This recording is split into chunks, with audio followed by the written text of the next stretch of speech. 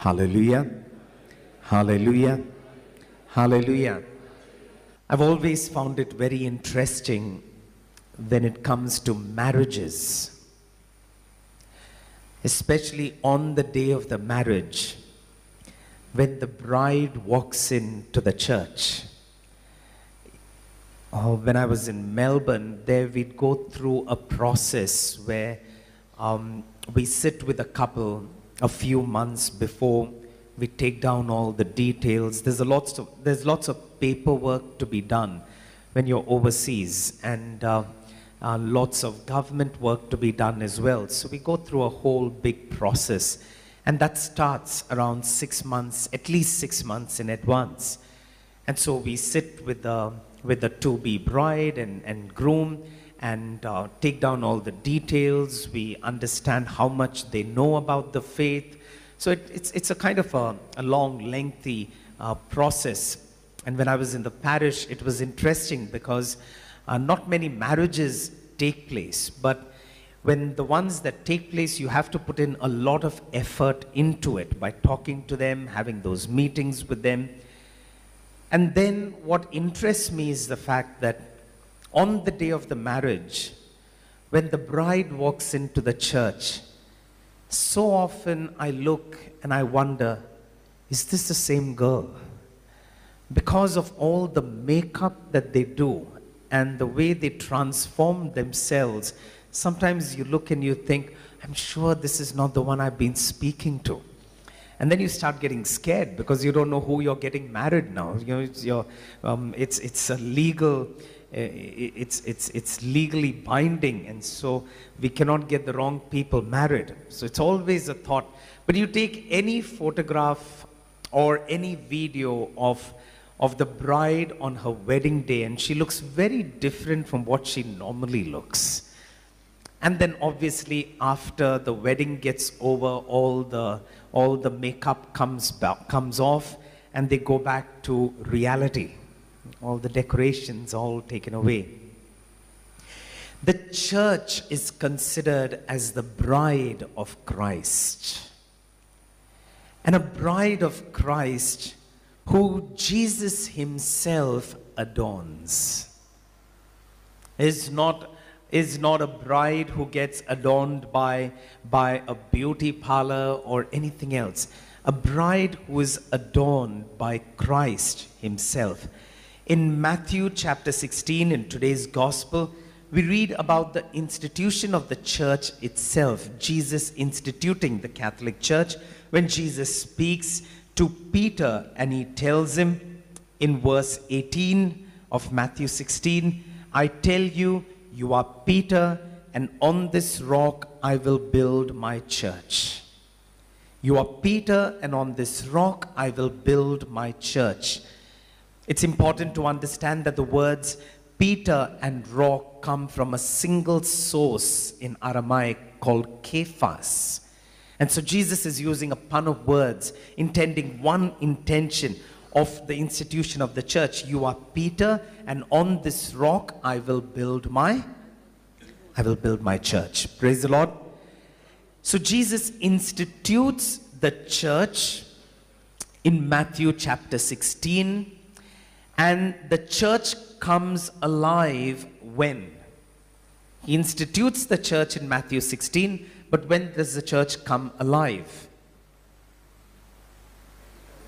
On the day of Pentecost, the church comes alive, becomes a reality. What was in words when Jesus instituted it now becomes a reality in Acts chapter 2 when the power of the Holy Spirit descends upon the apostles, and from there the church comes alive.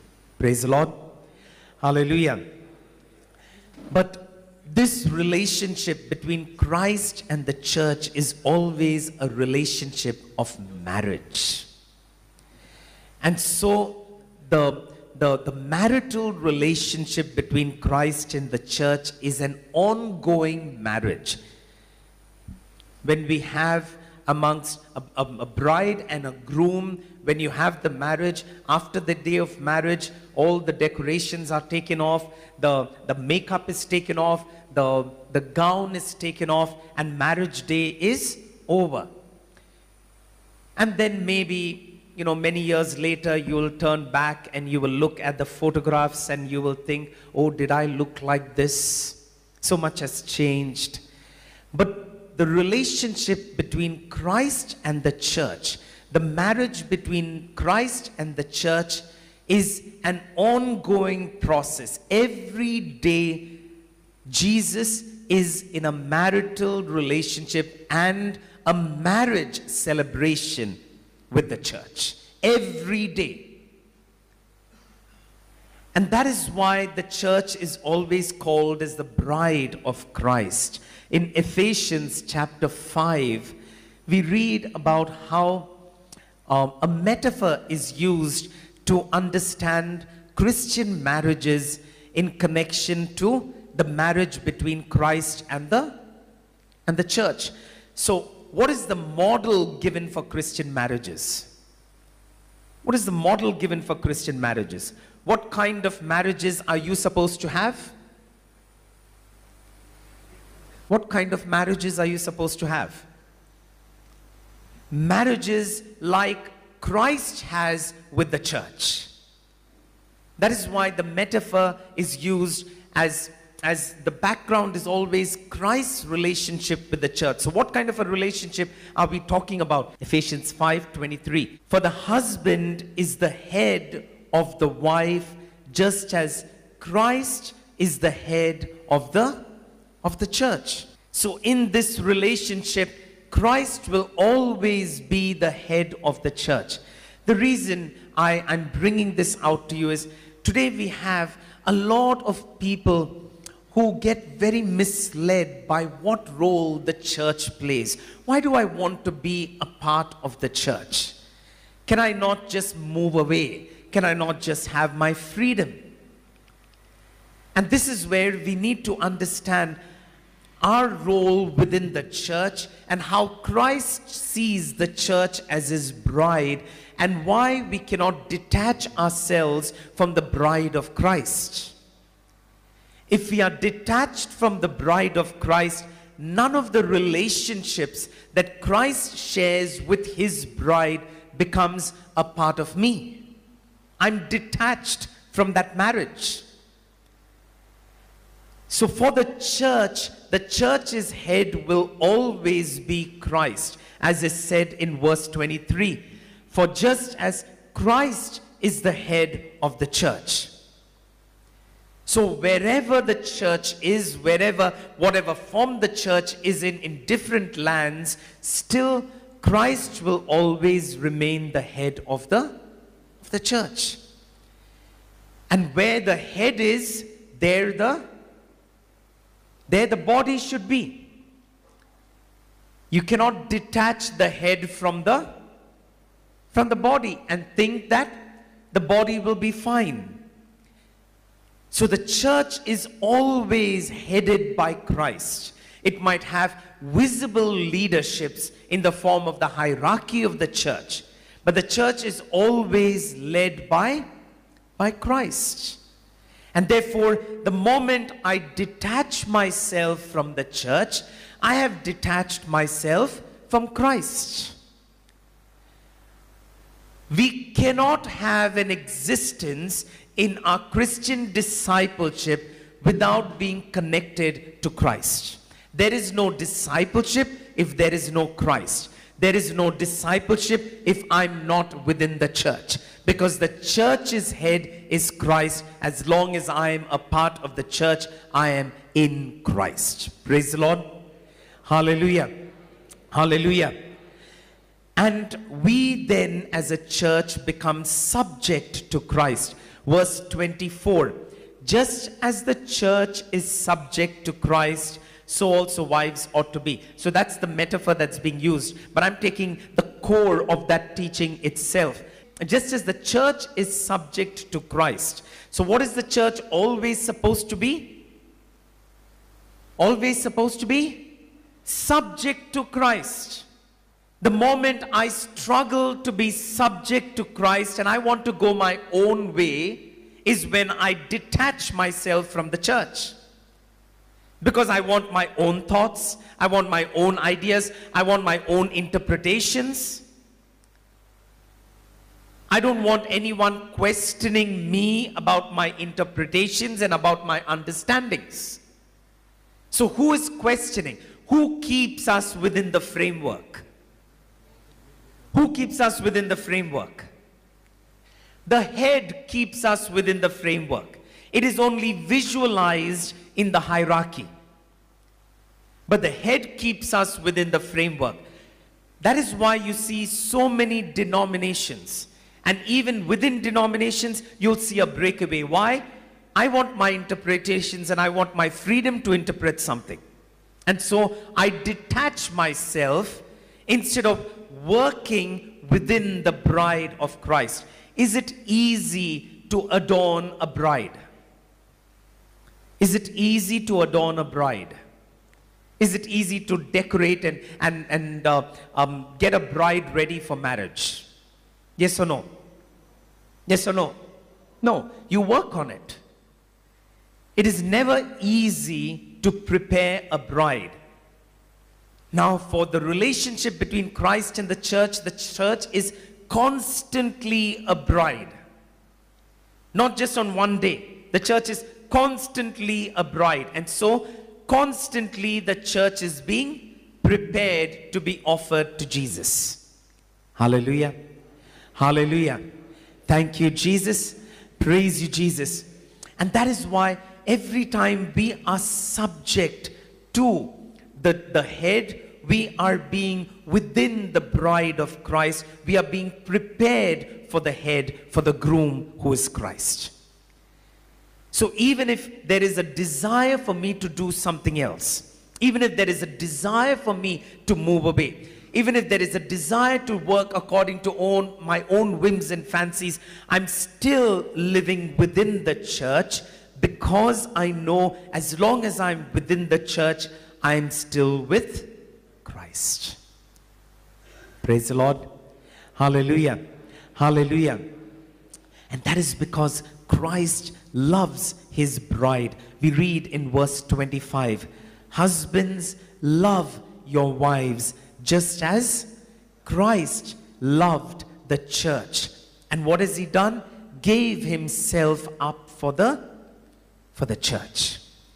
He portrays his love by giving himself up for the church in order to make her holy. Verse 26 in order to make the church holy by cleansing her with the washing of water by the word. So every day the church is being adorned, is being prepared by a cleansing through the word and the sacraments. Praise the Lord. Hallelujah. Hallelujah.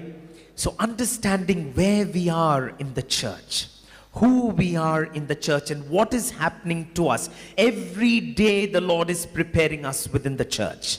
Every day is our day of marriage. For the church, it is it's a constant marriage that we are going through. So every day we are in a process of being beautified the understandings within the church, the depths of the theology within the church, the depths of the interpretation of the scriptures within the church. Every day, what is happening within the church is a preparation for marriage. The church doesn't become old. The church is not a bride of the past. The church is always the bride of the present. The church is always in preparation to receive the groom. Hallelujah. Hallelujah. And Jesus is constantly adorning his bride. So it is not anyone else who is preparing the bride, it is Jesus himself. Through the power of the word, he makes the church holy. And then the church is presented constantly. Verse 27. Verse 27 so as to present the church to himself in splendor without a spot or wrinkle or anything of the kind. Yes, so that she may be holy and blameless. So constantly the Lord is working on the on the church to make it holy and blameless in his presence. So we go back every day. At the end of the day, the church begins the process again. At the start of the day, the church begins the process again. The Lord is constantly making the church holy as unblemished. Now, for us, we might always think if the church is supposed to be unblemished, then why is it that we see all these scandals in the church? Why is it that we see all the problems within the church? Well, this is just a reality of who you and I are. Are you perfect? Are you perfect? Praise the Lord. Why will the church have its blemishes? Why will the church have its scandals? Because of us. Who makes up the church? We make up the church. So often we see the church as a different entity from us. The church is wrong. The hierarchy is wrong. The priests are wrong. The bishop is wrong. The parishioner is wrong. So I want to move away from from this group. So I see myself as being I'm detached from the church. I am the church. All of us together are the church. If I have a blemish, it means the church will have a, a blemish. If I have a fault, the church will have a fault. And that is what the Lord is working on every every day. He's working on me. When he's working on me, he's working on the on the church. That is why we are being prepared every day. But so often our mistake lies in the fact that we see ourselves being totally detached from the church. I have nothing to do with that group. That means I am perfect, the others are imperfect. When I acknowledge my imperfections, I understand that I have to work within myself and I have to work within my family of the church in order to make it the bride that is presentable to Christ. Praise the Lord. Hallelujah. And that is something that we do every day. When you're at home, do you like to clean your house every day? At least more or less. You know, when, when um, I was in Melbourne, I was all by myself in the parish, and uh, uh, uh, one of the things I liked was keeping things as they are. N- not because of anything else, because I was just lazy to go and do work altogether. So if I was eating something, I will stand at the at the kitchen table. In five minutes, I'll finish my my meal, and then I will clean up that space because then I have to clean up only that much. I don't have to clean up more. When my sister and uh, my niece came visiting, every time they would maybe drop something little, I'll go and clean it up, thinking that I have to clean up too much later together. But that feeling that I need to, I need to just clean it up. My sister kind of said, You're having OCD. You know, that's what you would kind of think. Well, if you see my room, you will never say I have any OCDs about it because it's that dirty. But um, the, the desire, every moment, I want to keep it, I want to keep it clean. Every day you clean your homes. Every day we clean the church. Every day we go through that process of cleansing of the church. That is how Jesus is nourishing the church every day. The church is not a finished product. The church is on a journey. So we cannot approach the church as a finished product. We cannot look at the church and say, oh, there are faults, it disturbs me. It, there will be faults. We are human beings with human weaknesses. But the Lord is working on us, and the greatest gift for the church is that the Lord has not given up on the church the Lord doesn't stop cleansing and nourishing the church. We read in verse 29 For no one ever hates his own body, but he nourishes and tenderly cares for it, just as Christ does for the church. He nourishes it and tenderly cares for it, just as Christ does it for the church every day. Praise the Lord. Hallelujah.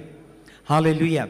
So, dear friends, you might see faults and mistakes within the church, but remember, the Lord is daily nourishing the church. We are all unique individuals and we are changing all the time. You are not the same person you were yesterday. What has happened? From yesterday, 8 o'clock in the morning, to now, 8 o'clock, what has happened? What change has taken place? What change has taken place in you? What change has taken place in you? No change has taken place in you. Yes or no? Yes? No? Yes? What change has taken place? Sorry? You know change has taken place, you don't know what change has taken place. Well, physically itself, you have changed. You're now one day older. That one extra wrinkle has come up. That one extra white hair has come out. Physically, you're one day older. Emotionally, 24 hours has touched you in different ways different people you met and you saw, each person, how they looked at you has made an impact on you. How they spoke to you has made an impact on you. You're not supposed to be using your mobile phones, but if you were looking through the messages yesterday on your phone and you heard about something, emotionally, what that has done to you, spiritually, how much you have changed in 24 hours. We are people who are unique and we are constantly changing. So when we are constantly changing, it means the church also is constantly changing. And who is having to deal with that change? The Lord deals with that change. That is why every day He is nourishing us. Every day He's tenderly molding us. That is why we read when, when Jesus speaks to Peter in John chapter 21, Jesus asks Peter, Do you? Do you love me? In what capacity is Jesus speaking to Peter? In what capacity is Jesus speaking to Peter? What does Jesus tell Peter in Matthew chapter 16? Peter, you are, yes, you are the rock on which I will build my church. In that capacity, he's looking at Peter and he's asking him, Peter, do you, do you love me? When Peter says, Yes, I love you, what does the Lord tell Peter? You feed my sheep, tend my flock.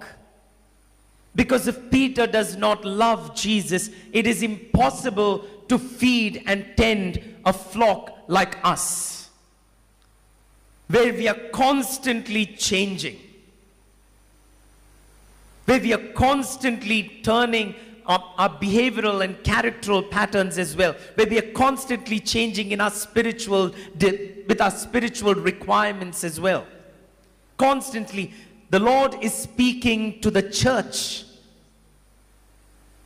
Do you love me? Then feed this, these lambs and the sheep in a constant moment of change that we are going through, we are constantly being prepared because every morning the bride has to be presented to Christ. Praise the Lord. Hallelujah. Hallelujah. Thank you, Jesus. Praise you, Jesus. I don't know if you've seen a movie. Don't ask me why I watched it, but uh, I don't know if you've seen a movie called 50 First Dates. Have you seen a movie like that? I watched it on a flight. Uh, 50 First Dates. It's about this, uh, this girl who has a short-term memory loss. So every day when she wakes up in the morning, everything that happened in her short term, she has forgotten. So she wakes up and her boyfriend has to then teach her everything again, including loving her again. So he has to convince her that he is actually her, her boyfriend.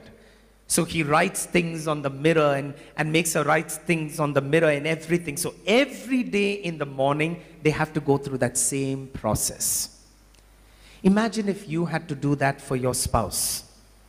Every day in the morning, start loving that man again. Hard enough, isn't it? And then you have to love him all over again. And the next day again, you have to love him all over again. Every day, the church is presented as a bride to Christ. Every day, it is going through a process. It is very easy to walk out of the marriage. That is what we do when we leave the church. I walk out of a marriage. The Lord says, I will never break my covenant with you. There are so many who find it difficult to be a part of the bride of Christ. And we say, You might not break the covenant, but I will create another covenant. There is no other covenant the Lord has made with any other church but the covenant that was made with Peter when he was said, You are the rock on which I will build my church. Praise the Lord. Hallelujah. Hallelujah. Hallelujah. Don't create different marriages outside of this sacred marriage of the Christ and the church. You ask people, especially overseas in Western countries, nowadays getting married a second time and a third time and a fourth time and a fifth time seems perfectly, perfectly fine. You ask them about it, they don't feel guilty, they now justify it. And one of the reasons, and one, one of the reasons why they don't hold on to the faith is because it is easier to justify an immoral life when you don't have faith. It is easier to do things according to your own whims and fancies when you don't have a moral law that is supposed to that is supposed to hold you back from sin. And so, even when they break away from a marriage, it's so easy to say, oh, well, that marriage was not meant for me. The two of us were not meant for each other. I just chose another person. We are in a marital relationship with Christ within the church. I cannot walk out of this marriage. Praise the Lord. Hallelujah. Hallelujah. Because the Lord will not give up on us. In Second Corinthians chapter 11, verse 2, St. Paul is speaking to the, Corinthian, the, the church in Corinth and saying, I feel a divine jealousy for you. For I promised you in marriage to one husband to present you as a chaste virgin to Christ. But I'm afraid that you have fallen away and you have been misled. But St. Paul says, I presented you as a chaste virgin, but you have been misled. But will the Lord give up on you? No, the Lord will continue to try to keep this marriage alive. The Lord will continue within that marriage in Revelation chapter 19. Revelation chapter 19, verse 7. Let us rejoice and exult and give him the glory. For the marriage of the Lamb has come, and his bride has made herself ready. To her it has been granted to be clothed with fine linen, bright and pure. The, the, the bride will be clothed in all her beauty, even if sin comes our way. The Lord cleanses us, He cleanses the bride, and once again the bride is presented to the church. And all that the bride is wearing on herself is in the form of the beautiful sacraments that we experience, the power of the word that we experience. Whenever we partake of these sacraments, we are being adorned as the bride of Christ. Whenever I celebrate the Eucharist, I'm being adorned as the bride of Christ. In purity, when I go for confession and I cleanse myself, I'm being adorned as the bride of Christ. All the beauty with which the, which, which the church presents itself is presented through the sacraments. When we baptize a child, it is like the bride of Christ is being beautified. And that is why, whenever I used to say, way past, I used to speak about the sacraments over here. I used to say, when a baptism happens, it is important that the church community comes together. Sadly, nowadays, we become a very selfish set of people. We want only my child to be baptized. When the priest says there will be three or four other children, oh no, Father, we, can we have a private baptism? It's a selfish attitude that's not supposed to be within the church. The church is a community. Whatever we do as a church within a community, we cannot have private things, private holy communions. Honestly, it's utter nonsense. Don't ever ask for it. It is a sin to do it. Because you are detaching yourself from a community. The celebration is that of the communities. Baptism is the church saying, here one more diamond is added to that beautiful gown of the church. The church celebrates it. Don't ask for private baptisms. Rather, pray that the church community will be, be there to celebrate that moment. Because we are adorning the bride of Christ. You're preparing the bride of Christ. It is so important for us to understand every time when we stand in the confessional and the confession is made. You know, in the, in the past, when they had confessions, confessions was a rarity. It was not done very regularly. The church looked at confessions as if suppose my sister has sinned and her sin and the church considered themselves to be pure and holy so they would not sin they would try their level best not to sin. If there is sin, she is out of the community. She is now in penance. And she's waiting in penance. And what is the church doing at that time? The church is constantly praying for her. Because the church feels that the church is not yet complete. One member of the community is out. So it is not an individual's problem. It is a community problem. That is how the church always looked at the sacrament of, of reconciliation. It is not the person who is hurting, it is the community that is hurting because the community is the bride. Just imagine the bride walking in, and when she's walking in, one part of her, her gown tears. Do you think she'll be at peace? Do you think she'll be at peace? No, it disturbs her.